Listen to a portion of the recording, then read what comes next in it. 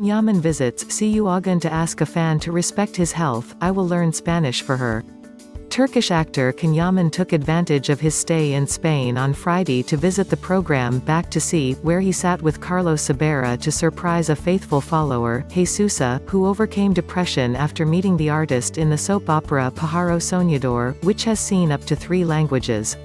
Jesusa, 75, lived a few months ago the sudden death of one of her daughters. Since then, the only thing that gave him the desire to live was the discovery of Yaman in the popular soap opera. But his obsession with the actor is costing him health, since he suffers from sleep apnea and spends too much time in front of the tablet, does not eat or sleep enough.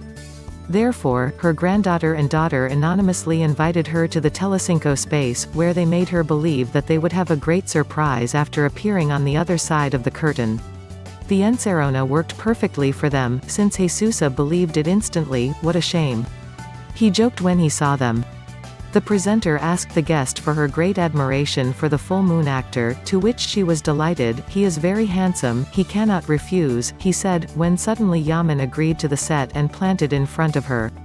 Jesusa could not believe it and, stunned, threw herself into a hug. My mother, what a joy. I'm going to kill you, she said excitedly. After his appearance, Yaman pointed out that he felt nervous, I had goosebumps. I was a little worried about seeing something happen to you, said the artist, who also admitted to feeling very proud of having a fan like that of Salamanca. Also, it was clear with Jesusa, I want to tell you that you have to take care of yourself to continue seeing me, he advised, to which she nodded. Satisfied, the Turk made a promise, I will learn Spanish through her. The guest assured Sobera, who defined her as the most envied woman in Spain at the time, that knowing the actor helped her to feel better, the soap opera helped me a lot to relieve my daughter's pain, he said. With glassy eyes.